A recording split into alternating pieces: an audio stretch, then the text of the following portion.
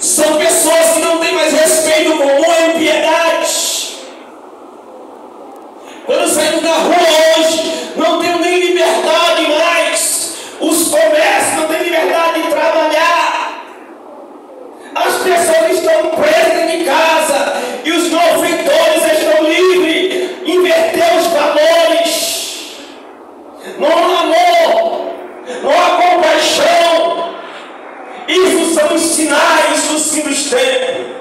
Mas o que, é que a palavra de Deus ela quer nos ensinar nesta noite é que ainda há uma esperança. Mas essa esperança ela só existe para aqueles que estão na casa de Deus. Porque a Bíblia diz